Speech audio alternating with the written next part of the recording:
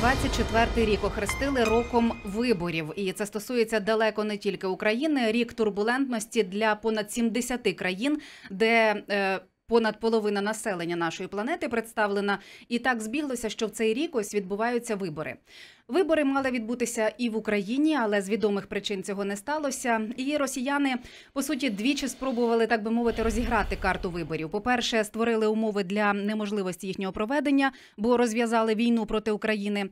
Ну а по-друге, цю неможливість спробували використати для дискредитації української влади і розхитування населення.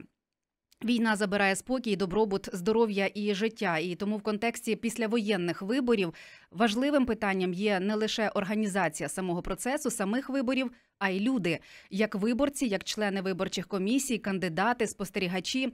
Від чого залежить активність українських громадян у післявоєнних виборчих процесах, з якими труднощами доведеться стикатися, що навпаки може додатися у вигляді позитивного досвіду, і як вороги користуватимуться темою виборів, зокрема через виборців, причому як активних, так і неактивних громадян. Про це говоримо сьогодні і в студії Українського радіо. Андрій Гевко, член центральної виборчої комісії. Вітаю. Доброго дня. І Павло Романюк, радник з юридичних питань громадянської мережі Опора. Вітаю наших слухачів. Вітаю. Отже, ми говоримо про участь громадян. Я навіть зараз не кажу активних у післявоєнних виборчих процесах. І зрозуміло, що це ж не тільки е, сама участь як виборця, прийти, поставити е, там пташку чи галочку чи позначку. Отже, ця активна участь, у чому вона полягатиме, і що вже зараз на що на чому треба акцентувати увагу, пане Андрію. Доброго дня. Е, ну, на мій погляд, що тут перш за все повинна бути активна позиція громадян. Вона проявляється в тому, що не просто прийти і там за когось проголосувати, а проаналізувати насправді, хто буде твоїм представником у владі, е, про, про, проаналізувати, що ці люди робили під час війни. Чим вони займалися, і щоб їхні обіцянки і ця реальні, реальні справи, які вони робили під час війни, щоб вони співпадали і відповідно голосувати за таких е, людей, щоб цей вибір був усвідомлений, тому що насправді е, вибори післявоєнні вибори будуть для, для нашої країни дуже, е, дуже відповідальними. Відповідальними не тільки для нас. А також ми будемо під пильним оком наших міжнародних партнерів, які нам допомагають зараз і раніше допомагали, і в майбутньому мають допомагати, і всі будуть дуже прикута увага цілого світу до виборів в Україні. Тому ці вибори мають відбутися на дуже хорошому організаційному рівні, але без виборців, які будуть активні в, в своєму праві проголосувати і усвідомлено відповідально проголосувати. Це перш за все.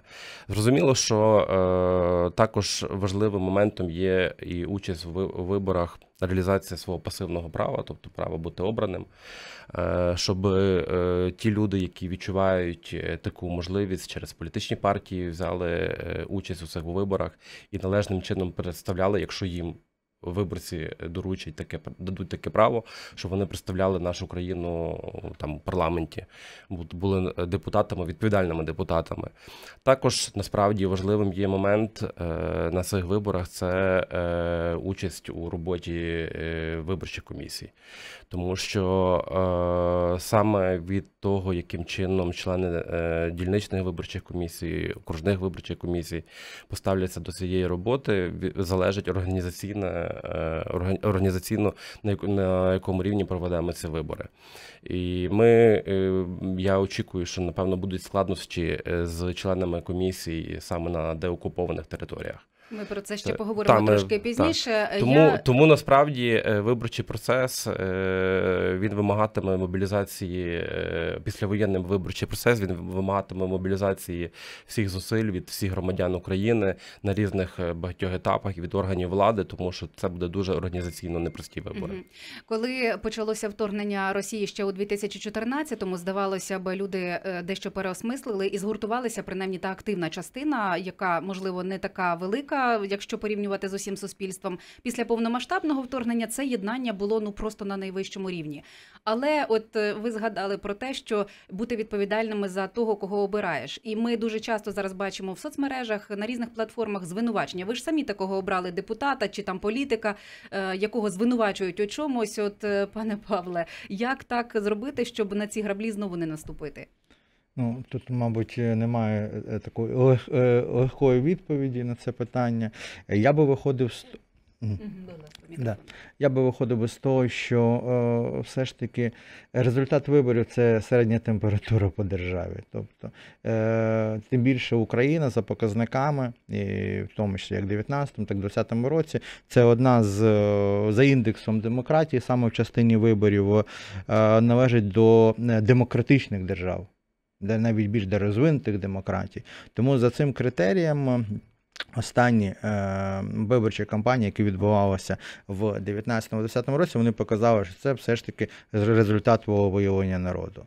А що ж тут потрібно робити? Андрій е, задав е, тон, він трішки почав е, говорити про післявоєнні вибори.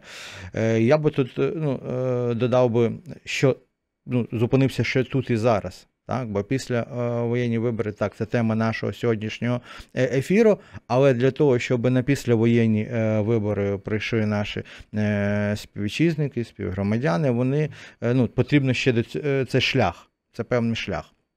Е, Саме тому, е, як голосування не дорівнює вибору, бо- виборам, бо це процес, е, так само вибори не дорівнюють демократії, і нам потрібно думати про цю так звану учасницьку партисипативну демократію, яким чином тут і зараз зберегти, от про те, що ви кажете, оцю активність громадян. Оце цей вогник, який е, в кожному активному громадянину щось змінювати, аген, ну, зберегти цих агентів змін. Є відповідь на Е, це запитання? А, як мінімум, е, ну, тут е, легкої відповіді немає. А, Єдине, що я можу сказати, це залежить як від самих громадян, так і від держави. Бо е, держава і людина це їх взаємовідносини, вони створюють певну синергію подальшого розвитку і. Держ... Як мінімум, держава має бути передбачуваною. І е, навіть сьогодні, в умовах воєнного стану, держава має бути передбачуваною. На жаль, е, в цьому плані є певні виклики. Але тим не менше, якщо ми говоримо, що ми можемо, як ми можемо е, долучити громадян, що вони можуть, наприклад, робити сьогодні. От вибори не відбуваються. В- Скажімо, це у нас довиборчий період з невизначеною датою виборів, як і завершенням війни. Е, На цьому шляху ми активне е, громадянське суспільство, організації громадянського суспільства, їх представники, що вони? Вони можуть робити моніторинг. Моніторинг е, дезінформаційних кампаній. Так, ворог сьогодні активно це проводить, дезінформує. Оце ж кампанія е, проти легі- антилегітимності. От, безумовно, це дезінформаційна кампанія. Громадянське, е, громадянське суспільство має не тільки е, робити моніторинг, але й пояснювати, тобто це вже просвітницька робота. Дуже багато чого залежить від організації громадянського суспільства. От, крім того, представниками е, громадянського суспільства є волонтери, за залучення волонтерів, і але в будь-якому випадку держава має бути передбачуваною, щоб е, цей запал вогник е, в активному середовищі е, він не згасав. А що потрібно робити, щоб ось ця передбачуваність була наявною? Я так розумію, з цим проблеми, пане Андрію. І чи не створить це проблем у майбутньому? Що можна зробити на, як кажуть, на випередження? Ну, владі ж не скажеш, будьте передбачуваними.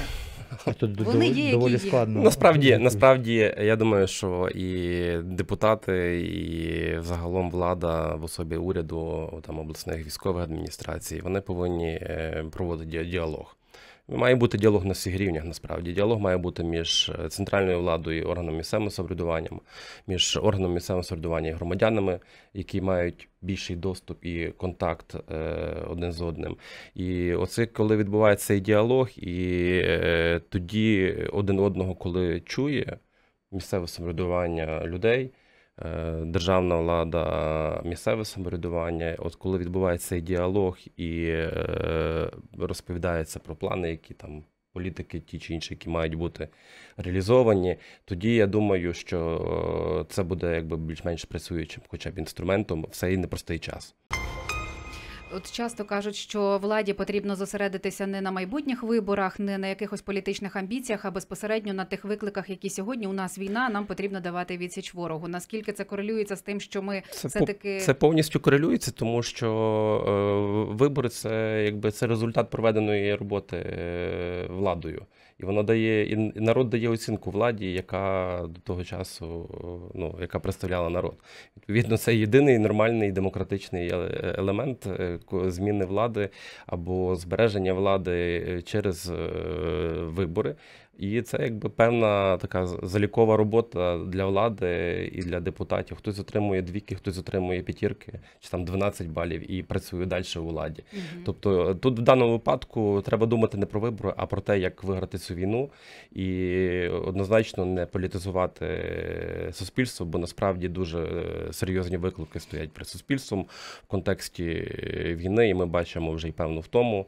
Вона хочеш чи не хочеш, але вона є і вона буде. І для того, щоб бути організованими, ми повинні просто працювати на результат. А наш результат це перемога.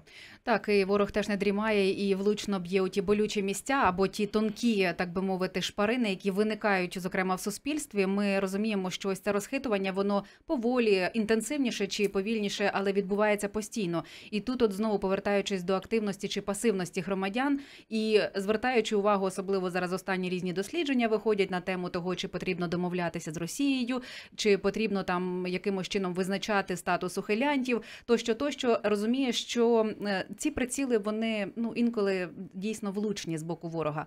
Паралельно ця робота ведеться, і яким чином саме, от якщо в контексті післявоєнних виборів. Ну, тут питання насправді е, загалом до. Щоб люди не велись на такі е, приводи інформаційні чи дезінформаційні, які веде, веде ворог, е, має бути присутній елемент критичного мислення. А це загалом про освіту громадян, про освіту громадян, про те, чого повинна навчати школа, бо ці виклики будуть зростати. Вони насправді зростають у всьому світі. Це не є щось унікальне в Україні. Тобто штучний інтелект е, зараз буде генерувати стільки дезінформаційних і наративних е, меседжів, що е, з цим над, над цією проблематикою повинні працювати всі, і не, не, не виключно там в контексті виборів, а взагалом система освіти і якоїсь громадянської освіти в країні повинна цими питаннями займатися. Там і приділяє увагу цьому і відповідні профільні міністерства в країні, але ці зусилля мають бути е, всі. Тобто, кожен, навіть оце навчання один одного, коли ти там з батьками спілкуєшся, подивись, що у батьків в телефоні відбувається. Я, наприклад, переглядаю деколи з мамою, дивлюся. е, Ми, ну, ми спілкуємося, бачимо, що деякі речі старші люди, наприклад, не, ну, не можуть е, відсікти. Треба дивитись, пояснювати, що ті всі красиві, згенеровані штучним інтелектом картинки чи е, будь-які інші меседжі провокативні, е, і треба пояснювати, яким чином можна з цим боротися, тому що це загальна, ну е, це, це виклики сьогодення для всього світу, насправді. Мгм. Не тут Україна не, не, є, не є в якійсь е, передовій чи ще. А в нас просто інший акцент. Акцент в тому, що от усі ці речі про ухилянтів, про я не знаю, там про інші, інші теми, які Колаборантів. колаборантів і так далі. Вони дуже чітко ворогом відслідковуються і туди йдуть зусилля, щоб розколювати Мгм. українське суспільство.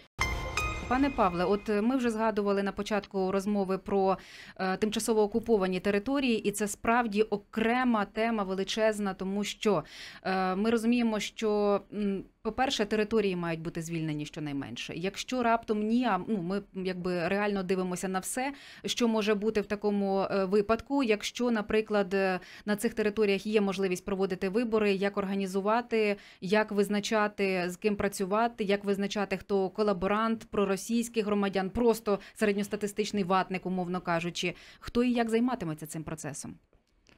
Бачите, тут більше питань, е, ніж відповідей, які ви, е, ви перерахували. Е, І говорити, звичайно, на цю тему, там, без, ко- коли ми, коли в самому питанні і в самій складовій багато невідомих, а тут саме багато невідомих.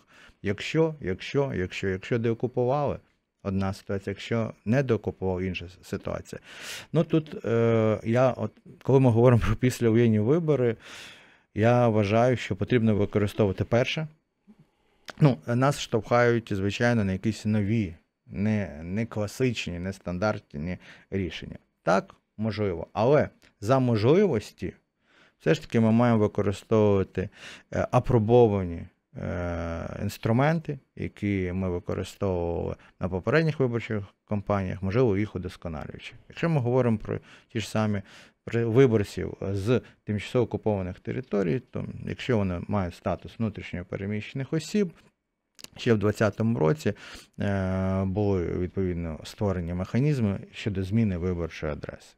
Це перше. Це основний такий інструмент залучення. Безумовно, безумовно, це якщо окуповані. Якщо деокуповані, питання є доволі чутливим і складним ем, е, від того, що ми ж в будь-якому випадку маємо відновити там конституційний порядок. А ми маємо розуміти, що е, староокуповані території це тривалий час окупації. Е, якщо рахувати з 2014 року, вже 10 років. Протягом 10 е, е, років е, на місцеве населення е, відбувався інформаційний вплив. Це, пропаган- зрештою, покоління нове вже про- виросло. пропагандистський. І яким чином нівелювати цей вплив? Який термін е, для цього потрібен? Тут е, йдуть дискусії. Від взагалі, що потрібно, е, від того, що вибори буде тим інструментом е, реінтеграції, повернення в українське правополе, ми не можемо виключити ці території. Від того, що має бути перехідний період з, ну, з певним строком. Там. Тобто, сьогодні говориться, строк має бути дорівнювати тому строку, який дорівнює, наприклад, окупації, або ж 5 років. Е, в будь-якому випадку е, громадянська мережа опора відстоює, ну, відстоює ту позицію, що е, якщо перехідний період такий і потрібен, то він має базуватись на чітких критеріях, щоб рішення держави з цього питання воно було справедливим і відповідало інтересам як суспільства, так і держави. Ну, ми все-таки виходимо з того, що сподіваємося на деокупацію цих територій, але я от тут е, не зовсім зрозуміла, чи правильно, що закладаючи, наприклад, десь приблизно півроку на підготовку після того, як е, встановиться мир на території України, як буде здобута перемога, е, півроку на те, щоб підготувати, організувати і провести вибори. Чи можуть ось ці ситуації, що пов'язані з проблемою тимчасово окупованих територій, затягнути взагалі вибори? Чи це от справді буде йти окремим рядком? Ну, я думаю, що з цього приводу, перш за все, має парламент сказати своє слово, тому що це ведуть е, зміни до законодавства.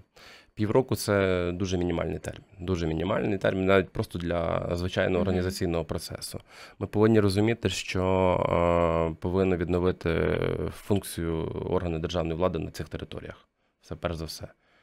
Це е, знову ж таки, в людей немає документів, втрачені були документи. Ну, Тут навіть напевне Питання громадянства, хто буде мати право адміністрації можна створити одразу, але от ці адміністрації, питання вже, але питання, от е, от відповідь на ці, ці питання треба давати буде відповідь. Що робити? У нас є території окуповані з 2014 року. То там ну, зрозуміло, що треба приймання в громадянство України. Які критерії, по якому принципу, хто буде мати право е, голосу на цих виборах.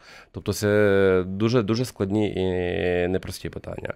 Е, Далі, е, ну, загалом відновлення там роботи інших органів державної влади, які дотичні до виборчого процесу. Ті самі члени виборчих комісій, які будуть е, повинні там будуть працювати. Це відомлення діяльності політичних партій на тих територіях, бо саме політичні партії делегують членів виборчих комісій до складу до, до, до, до, до складу цих комісій. І тому, е, коли ми говоримо про мінімум 6 місяців, то, на мій погляд, це дуже малий, малий термін. Щодо права голосу активного, кому надавати, так, дискусії різні ведуться десь, е, але ми повинні розуміти, що нам ці території треба інтегрувати. Хочемо чи не хочемо, цей процес е, треба буде запускати, і люди мають право брати участь в е, політичному житті ну, країни. Тут же ж не тільки про колаборантів, Та, а навіть оцю та, та, та. активну діяльність Росії, Без- коли паспортизація відбувається для всіх. Безперечно, без та і коли Росія робить, але тут треба чіткі, чіткі речі, і, і але ми не можемо діяти як наш ворог, правильно, тому що ми все ж таки демократія, а не авторитарна країна, е, в якій яка може собі дозволити такі речі, які не мають нічого спільного з я не знаю, з, з якимись елементарними демократичними процесами. Тому е, це буде набагато складніший процес, але його треба буде проводити. Е, Є різні варіанти, які прослуговують. Так, можливо, з місцевими виборами прийдеться зачекати на цих територіях, але можливість участі в національних виборах треба розглядати цих людей, щоб вони, в тому числі, люди, які не були е, залучені до колабораційної діяльності, і тут насправді ще й, е, наша правоохоронна система повинна спрацювати належним чином, щоб чітко визначити людей, які співпрацювали з колаборантами, які були в місцевих адміністраціях е, на цих окупованих територіях, які допомагали ворогу цю всю роботу, і тільки в законний спосіб можна всі ці речі потім е, говорити про право голосу, право вибору на, на національних виборах. Ну, до речі, в нас був цикл програм щодо, зокрема, деокупації Криму і реінтеграції, і різні учасники цієї програми абсолютно з різними думками були щодо того, а як е, поводитися з людьми, які там е, є відвертими, скажімо, прибічниками ворога, які перейшли на бік, є ті, які були змушені це робити. Як визначити цю межу? Хтось каже, от просто всіх там, е, наприклад, ну росіян зрозуміло виселити. Хтось каже, ні, там вже ж шлюби змішані, і діти, які можуть претендувати і на громадянство, і на інші права. Ви якої думки? Ой, я думаю, що тут насправді от це, оце зараз цей час, коли треба от провести цю дискусію широку в суспільстві і вже визначити, от як кого ми будемо, е, які будуть правила, та от. е, І не затягувати цим. І тоді люди, які на цих окупованих територіях, вони повинні будуть розуміти, що на них чекає після деокупації. От оця визначеність від держави, вона повинна бути зараз проговорена в широкому, в широкому суспільному діалозі. Бо це не можна е, приймати якісь швидкі рішення. Це дуже тонкі е, питання, і якщо і, і це в перспективі розвитку країни має бути одним, е, одним з найважливіших критеріїв. Мгм. Бо держава це люди. Пане Павле? Я до того, що додам, про- знову ж таки повертаємося до визначеності, передбачуваності держави. Справді, а державі агресору е, якби вигідно, коли ми не пропонуємо свій варіант вирішення е, цієї дискусії. Так, е, люди живуть в невизначеності, а це дозволяє поширювати різні міфи.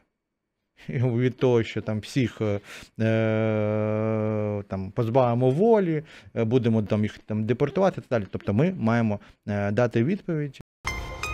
І е, ми от торкнулися тимчасово окупованих територій. А зараз я хочу поговорити і про е, ситуацію з виборцями мільйонними, багатомільйонними виборцями, які опинилися за межами України. Які тут е, особливості, можливості, проблеми? Адже, е, наприклад, наскільки я знаю, в законі так передбачено, що після трьох місяців перебування за межами України громадяни не можуть балотуватися на наступних післявоєнних виборах. Е, Виборці, які вперше голосуватимуть за межами України, скільки таких може бути за попередніми оцінками? Чи можна зараз прогнозувати їхню активність? Пане Андрію, Е, насправді є обмеження в законодавстві щодо цензу сілості. Тобто, ми е, участь там, наприклад, в парламентських виборах може бути це конституційна норма 5 років повинен бути проживати в Україні. І, а сам термін визначення, що що таке проживання в Україні, воно визначено вже в, в, в законодавстві.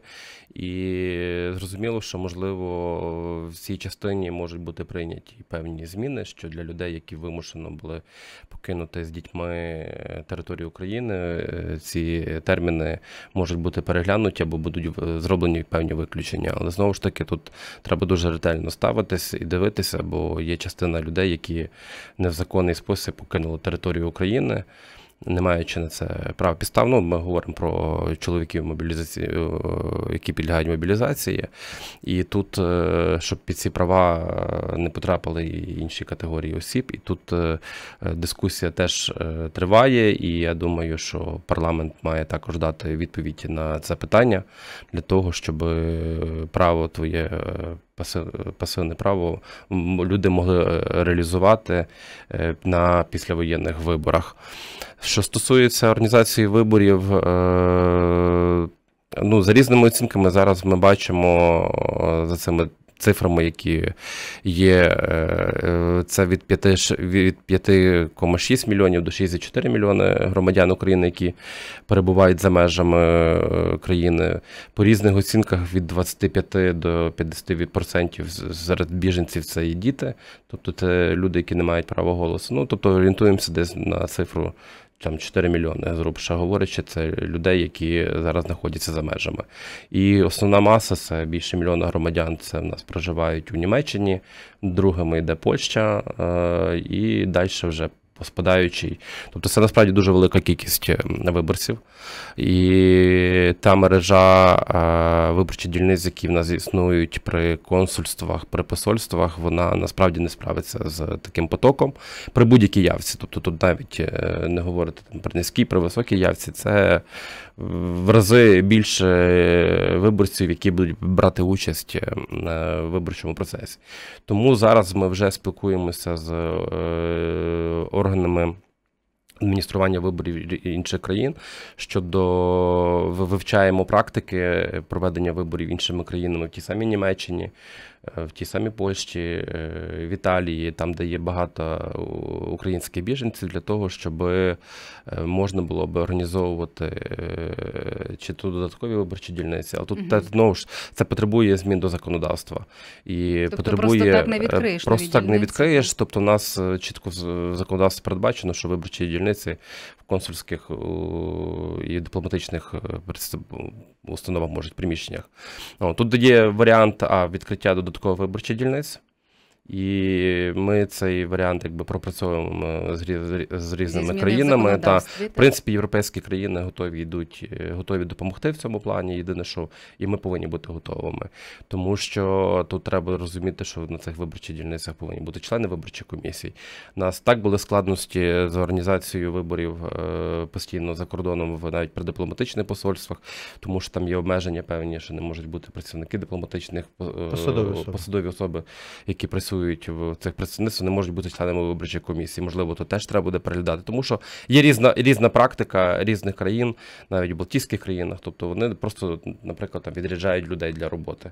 Але знову ж таки, це посадові особи, які їдуть і працюють, і це відповідальна робота. І тому тут треба е, пропрацьовувати різні е, варіанти. Ми в тісній комунікації з Міністерством закордонних справ для того, щоб знайти ті рішення, які дадуть можливість про скористатися своїм активним виборчим правом людям, які на, на момент проведення післявоєнних виборів будуть за межами території mm-hmm. України. І тут важливим також є ще комунікація з самими виборцями, тобто донесення інформації про можливість взяти участь, голосувати і так далі, тому подібне. В тому плані теж працюємо, вибудовуючи. Ми зараз активно працюємо над комунікаційною стратегією.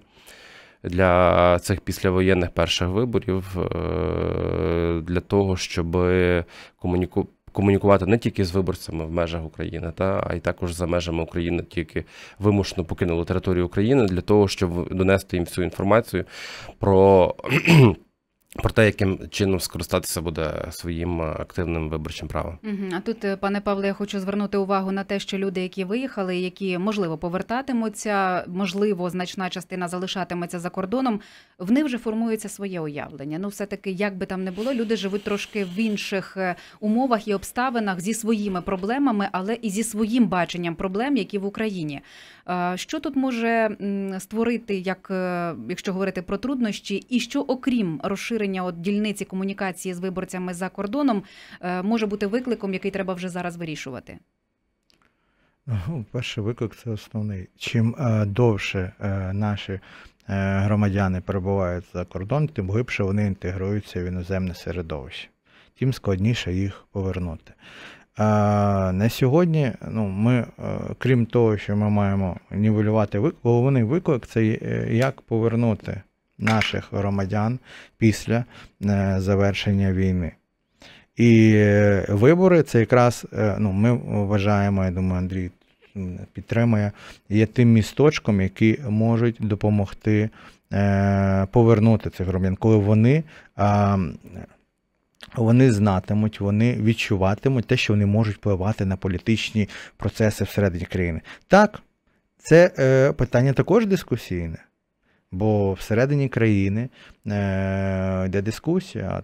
Виїхали, а яким чином, як Андрій казав, виїхали, а чому вони мають впливати?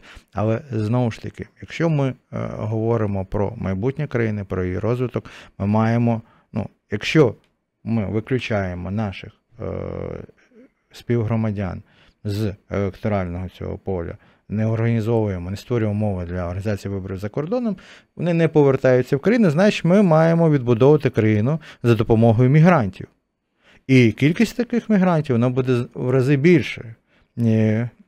Е, Саме ну, це про те, з ким ми хочемо е, бачити післявоєнну е, Україну. І про те, що казав, і про цензу сілості. Сьогодні, наприклад, зареєстрований законопроект е, 11300, який е, дає часткову відповідь на це питання і, і каже, що ті, хто виїхали за кордон е, під час воєнного стану, е, важ- вважаються такі, як підпадають під виключення, вважаються такими, що не порушили цензу сілості. Да, є дискусії з приводу тих, хто незаконно виїхав е, за кордон, хто виїхав, наприклад, через окуповані території на територію держави-агресора. Мгм. Так, але безумовно. Про ті, хто законним, що незалежно від чи це жінка чи чоловік, але ті, хто виїхали законно, звичайно, ми маємо боротися за їх виборчі е, права. Це дуже важливо. Більше того, я вам скажу, сьогодні е, скільки? Андрій казав, що 6 мільйонів, так? Ну, Ще, ну, управління справах біженців е, цю цифру оприлюднює. Ми звернулися в травні до МЗС. Вони сказали, за оціночними даними дипломатичних, закордонних дипломатичних основ 7,6 мільйонів. Ну, тобто, насправді цифра ну, доволі умовна, це точно мільйони. Але міграція продовжується. Е, громадянська мережа опора вона моніторить оці мігра... вплив е, обстрілів на міграційні процеси. І за різними сценаріями, от те, що ми сьогодні спостерігаємо, немає світла, там, спека, це впливає на життєдіяльність громадян і сприяє звичайно міграції. Яка частина ще вийде за кордон? Я не знаю. Але якщо це буде в цьому 10 мільйонів, а це вже третина е, електорату.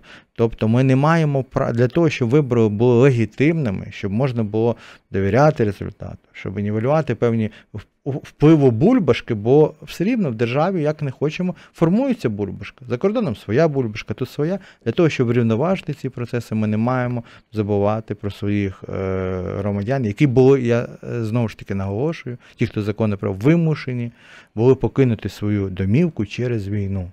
Угу. І оця емпатія має також, ми маємо її зберегти всередині всіх українців, як всередині, так і до тих, хто перебуває за кордоном. Я запитувала про передбачувану активність, і тут, мабуть, не тільки про тих, хто виїхав, а й тих, хто залишається в Україні. Ми також згадували про втому під час війни, але чи не ця втома не вилляться потім е, після війни в те, що люди втратять взагалі бажання е, на що-небудь впливати? Ну тому що просто втомилися. Ні, ну я думаю, що якщо ми говоримо варіант, що Чи це може бути новим що вибори, що вибори після перемоги, я думаю, що тут якраз буде Мгм. навпаки висока активність виборців.